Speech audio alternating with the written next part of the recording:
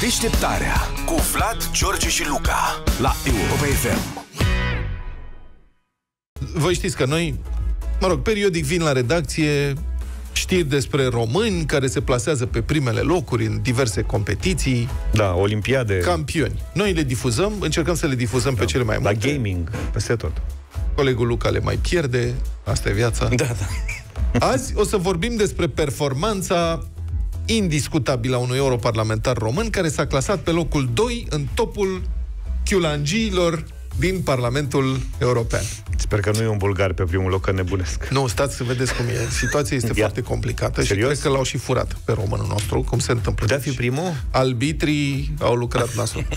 Este vorba despre domnul europarlamentar Claudiu Manda, ah. de la PSD, mm. care a lipsit de la aproape jumătate dintre voturile din Parlamentul European, acolo unde, acolo unde se face contabilizarea, că despre ședințe și lucrări pe comisii sau în plen nu mai vorbim, că n-are rost. Dar de la voturi, voturi, 43% absent.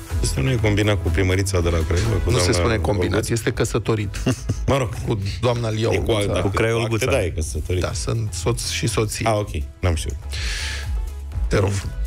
Domnul Manda, cum spuneam, a fost totuși văduvit de locul întâi în acest top al chiulancilor printr-o manevră judiciară perversă, aș spune, adică dânsul merita locul întâi în topul chiulancilor, fără nicio discuție, doar că un europarlamentar grec a venit pe turnantă și i-a furat gloria.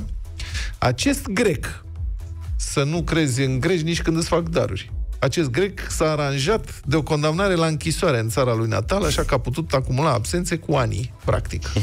Da, mă, dar pe de altă parte trebuia să îi le treacă cu scutire. Ce, să da. piardă. Exact. Avea scutire. Da, corect. De ce nu să-i pună motivare?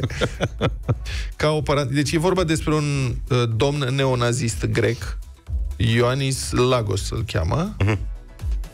Calimera care a fost condamnat la 13 ani de închisoare în 2020 pentru conducerea unei organizații criminale, partidul de extremă dreapta Golden Dawn, Zorile Aurii, care uh-huh. au mhm. și participat în alegeri și în cele din urmă, mă rog. Deci dacă n-ar fi fost grecul, domnul Manda era campion. Deci, vedeți, domnul Manda, cu pușcărie se rezolvă, puteți lua locul întâi. Candidați... Să știi că a avut această oportunitate, adică ar fi putut să se aranjeze și dânsul de o condamnare, nu râde Luca. Cred că n-a fost suficient de motivat, trebuie să și dorești să câștigi. Adevărat. La începutul acestei luni, Curtea Supremă din țara noastră i-a închis dosarul domnului Manda. În acest dosar, el era judecat pentru săvârșirea infracțiunii de folosirea influenței ori autorității ca persoană cu funcție de conducere. Dânsul a fost uh, acuzat că a intervenit și trimis în judecată că a intervenit pentru oprirea recuperării unor sume plătite ilegal unor cetățeni dintr-o comună dolgeană. Genul acela, e vorba de ajutoare sociale. E probabil genul acela de cetățeni care vin cu Mercedes-ul să-și ia ajutorul social mm. și s-a constatat că sumele au fost plătite ilegal. Deci dânsii, dânsii care au încasat ajutoarele respective nu le meritau. Și ai zice câți bănuți 300 de mii de lei. Este paguba ceva mai mult de 300 de mii de lei. Domnul uh, DNA l-a acuzat pe domnul Manda că a făcut aceste presiuni pentru a obține în schimb ceva. Voturile celor care încasaseră ilegal banii mm. și ale familiilor acestora cum ar veni, dar dosarul a intrat la prescripția specială. Știți, acel gen de prescripție specială stabilită de Curtea Constituțională, pe baza căreia s-au închis un morman de dosare de corupție. Să mai spui că judecătorii de la CCR nu își merită salariile. Ei muncesc, își merită salariile și uite, că oamenii nevinovați practic sunt scăpați de aceste procese abuzive, cum zicea domnul Dragnea, împotriva lor și ei își pot vedea în continuare. De ce își văd că domnul Manda, de exemplu, nu și-a văzut de Parlamentul European. Dânsul Cred că trebuie să-ți și placă acolo, nu e pentru oricine. Bă, da, când a fost domnul Becali o fi fost campion la... sau nu se făcea clasamentul Cred că a candidat și dânsul a avut cu șanse reale. Putem să documentăm și să vedem. Da. În ce... Ar fi interesant să vedem pe ce loc a fost. Ți minte că era foarte entuziasm la, la început. început. La început. Azi, după aia, pa. un birou pe acolo, palat, pa, pa, pa. Zic, nu ești după aia. Cred că a și făcut. Dacă nu mă știu. Biroul, sigur, da. l-a amenajat frumos, că n-ai, n-ai cum să treci acolo. Dânsul nu, e foarte gospodar. Dânsul da, și celula de la pușcărie și am amenajat-o, înțeleg, foarte frumos. Eu mi-aduc aminte că avea un mers foarte trufaș, așa. Da, da, da, da. da. și costumele alea ale lui avea, nu știu. Exact. Revenind la topul chilangiilor din Parlamentul European, să știți că nu e ușor lucru să, fii, să ajungi la vârf. Adică Parlamentul European are 705 membri în actuala legislatură. 33 dintre acești membri vin din România. Deci să te plasezi pe locul 2 din 705 e ceva realizare. Da, da. Și în condiții... Olimpic. Și în condițiile în care grecul ăla nu s-a purtat corect. Era petit. Și pe locul 5 e un alt europarlamentar român, domnul Rareș Bogdan. Deci, noi în top 5 avem doi reprezentanți la topul chiulancilor în Parlamentul European din 705 candidați.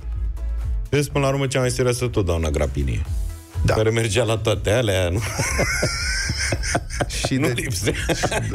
Dar de ce? și își făcea, își făcea timp din când în când cine și scria pe la Facebook. ce i-a ajutat. nu contează. Am văzut, Noi ne-am simțit bine. Am văzut o memă zi, ieri am văzut-o. După aia, știi, cu piedone, cu și eu sunt interlop, Da. cu tricou, e și doamna Gapini cu o poză în care are un tricou pe care scrie și eu sunt Interpol.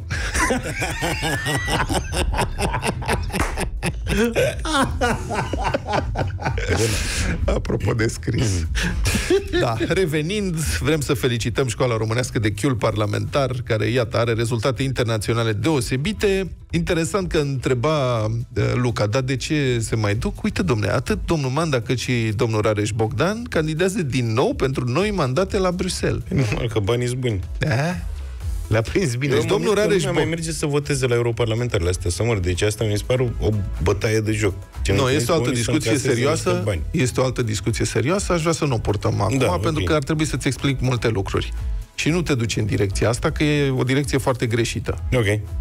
Domnul Rareș Bogdan, din partea PNL, e pe locul 2 al listei comune PSD-PNL, iar domnul Manda, pardon, e pe locul, ba nu, e pe locul 2 domnul Rareș Bogdan, domnul Manda e pe locul 5 al aceleiași liste.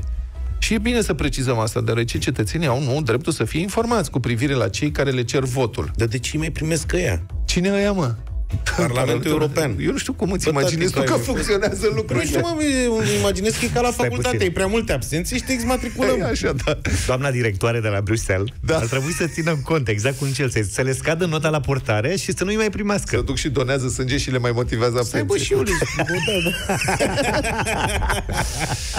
Da. Chiulangii de top, poziții de top pe listele de vot. Mi se pare că e o logică cu totul special aici.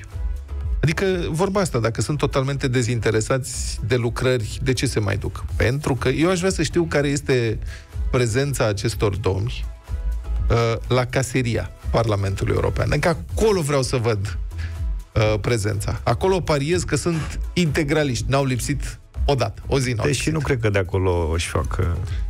Probabil că nu. Da, știi cum, Rare își face banii de stilouri, probabil. pește mic, pește bun. Bun, bravo! Deșteptarea cu Vlad, George și Luca la Europa FM.